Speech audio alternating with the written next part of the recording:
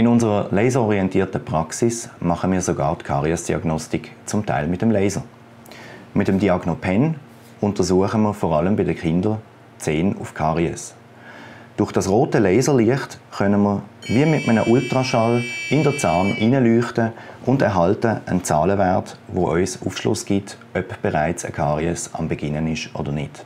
Auf diese Art und Weise kann Karies sehr früh erkannt und auch behandelt werden.